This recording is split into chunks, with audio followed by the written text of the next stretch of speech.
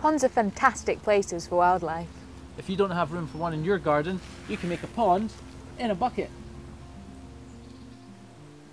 All you need is a bucket, A spade, a pond plant, some rocks, some sand, and some gravel.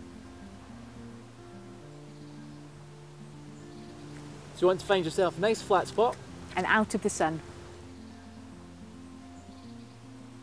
Add some sand,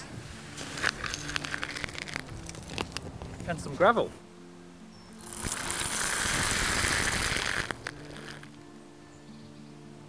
So now we're going to add the rocks. and this is so all of the little creatures can get in and out of our pond. And a pond plant for oxygen.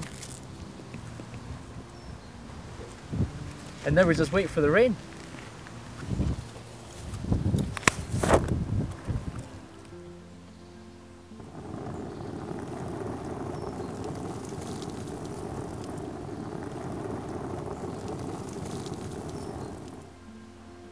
Now that the rain stopped, our pond is full. So keep a lookout for frogs and tadpoles.